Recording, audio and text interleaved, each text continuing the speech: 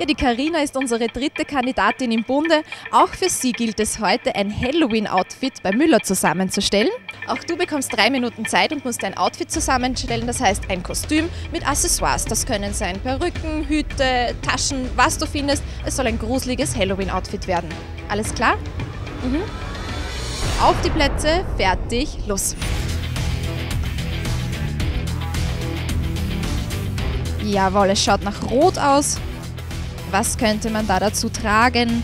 Es gibt ja alles, Haarreifen, Perücken, Hüte, alles ist möglich. Jawohl, Strumpfhose ist schon mal gefunden. Jawohl, eine Krone ist mit eingepackt. Wieder was gefunden. Ein, ich glaube, Besen ist es. Die letzte halbe Minute ist im Laufen. Fertig. Nach zweieinhalb Minuten haben wir das Outfit gefunden. Sehr gut.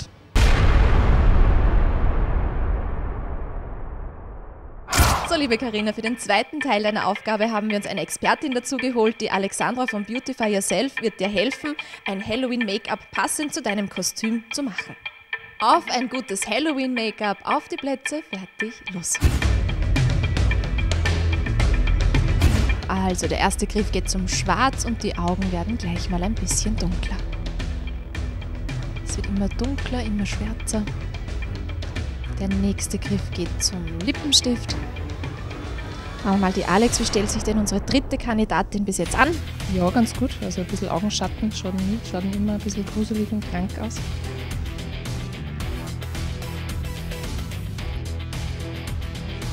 Die letzten Sekunden Jetzt kann noch der Feinschliff gemacht werden, ein bisschen mehr Blut und dann sind wir auch gleich am Ende.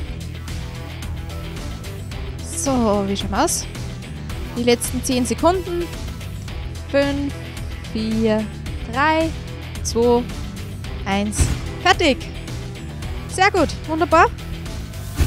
Auch Karina hat ihr Outfit mit Make-up zusammengestellt und so sieht es aus, ihr fertiges Halloween-Outfit.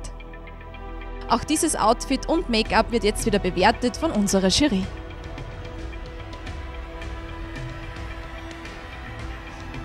Die letzte und dritte Wertung, wie schaut die denn jetzt aus? Bitteschön.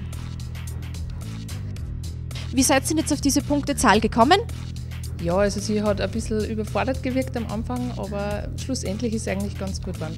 Ja, natürlich gibt es auch bei der Halloween Battleship wieder einen Gewinner oder eine Gewinnerin und das ist mit 290 Punkten unser Titelverteidiger, der Nikolaus.